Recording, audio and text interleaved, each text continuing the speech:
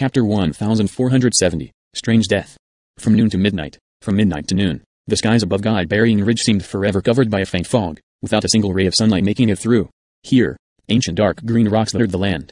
These stones had experienced the river of endless years, as if the landscape of God Burying Ridge had never changed for the last several billions of years. The group of 12 people had already penetrated 300-400 miles deep into God Burying Ridge. Then, something finally occurred. The slow and steady Fatty Zhu suddenly jumped up like a dog chasing a rabbit. His speed increased to incredible velocities and even the ground shook beneath him, causing everyone to be startled. Lin Ming reflexively jumped backwards. His right hand traced his spatial ring and the phoenix blood spear came flashing out. All this occurred in the blink of an eye. Beside Lin Ming, Bao Moxian wasn't any slower. Her bloodline began to roil within her as she grasped her whip, ready to transform into her phoenix true form at any time. Lin Ming's first reaction was that Fatty Zhu had encountered some sudden danger and he had decided to flee and leave them behind. However, what surprised Lin Ming was that even though all of this had occurred, the surroundings were still quiet. The wind blew at a low speed and the mountain stones remained as bleak and barren as before, as if nothing had occurred.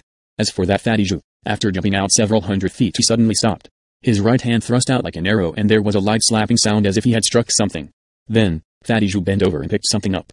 As he did, his round and tubby body seemed as if it was giving him a hard time in trying to bend over. After that, Fatty Zhu walked back, his face flushed red with health. He held a red spirit grass in his hands. As he turned his palm, this spirit grass was received into his spatial ring. Haha, lucky, lucky.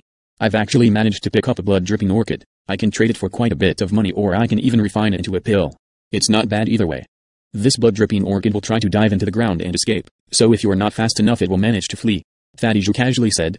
But as he spoke, let alone the saint youth that had been complaining all this time, even Lin Ming wasn't feeling all too well. This fellow, could he really be relied upon? It wasn't a problem for him to pick a spirit grass. After all, in these sorts of mystic realms, whoever discovered the treasure was the one who owned it. But before this, every step Zhu took was careful and as slow as a snail. He had even said it was better to be safe than sorry, and going too fast could easily lead to death. But, when he discovered that spirit grass just now he happily leapt forwards even faster than a rabbit, crossing hundreds of feet in an instant with no problem at all. Are you fucking playing with us? The saint youth violently shouted out in anger.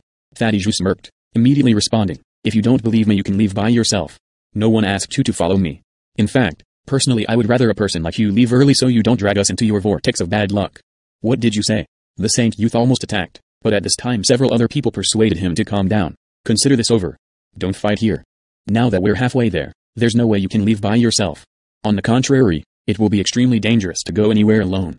No matter if we are being tricked or not, it's much safer if we are all together. The one who spoke was the older brother of the dragon siblings. In order to not offend Fatty Zhu, he used the true essence sound transmission. Humphrey, the saint youth coldly snorted, suppressing his anger. Jushayan, I will remember your name. Do whatever you want. There are many people that already remember my name, so who cares if you do too?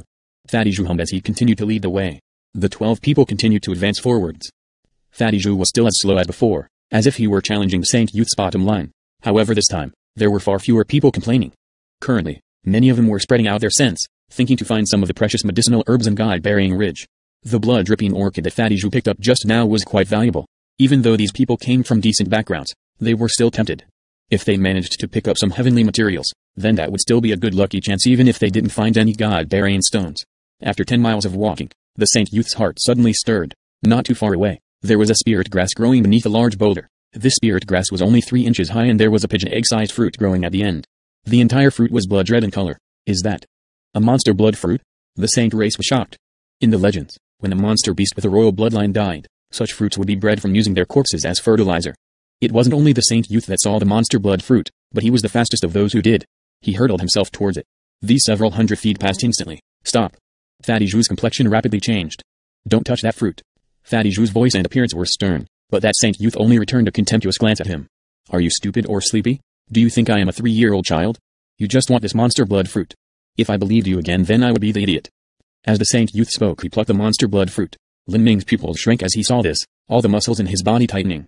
The truth was that out of everyone here, he had been the first to discover the monster blood fruit because his divine sense was the most formidable out of everyone here. However, he didn't want a monster blood fruit so badly that he was willing to desperately rush out without regard for anything else. And more importantly, the moment he discovered the monster blood fruit, he also had a foreboding feeling pass through his heart. Now that he heard Fatty Zhu shout out to stop, Lin Ming immediately raised his guard to full alert. And standing around Lin Ming, Bao Moxian, the dragon siblings, and even that Tassern, 15 16-year-old looking black-clothed youth had also silently drawn out their weapons. The black-clothed youth's weapon looked like a saber. The blade was black and shining with a cold brilliance. This was because Fatty Zhu's words had placed them all on alert. They would rather believe in potential dangers than be caught unprepared. However, that Saint Youth didn't seem to encounter any dangers. As he grasped the spirit grass he loudly laughed, ha ha. This fruit is worth over a hundred million it often can't be found in any city. I just happened to be close to breaking through to the middle divine lord realm. Once I refine this fruit into a pill it will greatly enhance my blood vitality. Awesome. Even if I don't obtain any god-burying stones during this trip into god-burying ridge I've more than recouped my losses. I've fucking had enough with this swindler tricking us all this way. I'm sick of his shit. As the saint youth was speaking, Lin Ming felt a chilling air crawl up from beneath his feet and shoot straight up his back. He saw an extremely strange and horrifying scene occur. The monster blood fruit that the saint youth was holding in his hand suddenly stretched out a root hair to grip the saint youth's arm. Then, it began to wantonly absorb the blood essence in the saint youth's muscles. The saint youth's arm began to wither away at a visible speed, but the saint youth himself didn't seem to sense anything wrong. He still remained ecstatic from his find and glaring at Fatty Zhu in triumphant disdain. Then again, I should also thank a useless swindler like you. Without you leading the way I would not have picked this monster blood fruit. Ha ha. At this moment, the saint youth's self-pleased laughter was already standing in sharp contrast with the left half of his body that was completely decayed. This strange scene left a nearly unforgettable impression. There is no need to think about it. He is already dead. Fatty Zhu's complexion was pale. There was no one else in the group that was gloating over the Saint Youth's misfortune either. Instead, it left them increasingly fearful of how dangerous this trip was. According to normal trends, they shouldn't have encountered such a strange existence at this distance. Did someone die? Why do you all have such expressions? The Saint Youth shouted out, panic beginning to rise in his voice as he saw the pity and panic in everyone's expressions as well as their guarded stances. A feeling of intense restlessness surged in his heart. What is going on? What are you looking at? A foreboding feeling appeared in his mind. Then, he turned his head to look at the left half of his body and saw the most terrifying scene of his life as well as the last scene of his life. His left half had completely rotten away, and things that looked like red roundworms were wriggling around in his flesh. This incomparably disgusting and horrifying scene caused him to cry out at the top of his lungs. However, just as his cry started, a cold light shimmered through the air and pierced through his throat. Ka! With a light sound, blood splashed in the air. The Saint Youth's throat was stabbed through and his voice was immediately cut off. Lin Ming's eyes widened. The one who attacked was Fatty Zhu. He could not be allowed to scream. It would lure other things here. We must leave here immediately or the thing will attack us too. As Fatty Zhu spoke, he launched his movement technique and rushed deeper into God-burying ridge. Lin Ming followed behind. The scene that just happened was shocking to the mind. This God-burying ridge had strange things everywhere. The group of 11 people rushed forwards a dozen plus miles in a single go before stopping down. All of their complexions looked unwell as if they mourned over the loss of someone in their group. The tragic death of the saint youth just now had caused them to shake with fear. Even the normally flippant and happy Zhang had an unnatural expression. Just what was that? It was disgusting, I think. We should turn back. The one who spoke was Monster Prince Juayu. Without a doubt, the one who had been impacted the most just now was him. He had secretly estimated the strength of that saint race youth who had just died. His final estimation was that he wasn't much stronger than that saint youth. If he were to have fought that saint youth, although he could have won, it would have been a difficult victory. If that saint youth had died so miserably, then if they had exchanged positions, he would have suffered the same fate. If you want to return then return yourself. We have no plans of doing so. The one who spoke was the young girl that carried javelins, the young sister of the dragon siblings. As she looked at Monster Prince Juayu, her eyes were filled with disdain. This disdainful gaze left Monster Prince Juayu infuriated. He regretted his impulsive action that had led to him following Lin Ming and Zhang Moxian into the stand danger zone. Fuck, I hate meeting those brash idiots that think they are some big tiger. He died and nearly dragged us down with him. Fatty Zhu foully cursed. Luckily, we didn't encounter any dangers when we left nor did we deviate from the road I am familiar with. Fatty Zhu looked all around. After determining their approximate position, he finally let out a sigh of relief. What killed him? Lin Ming suddenly asked.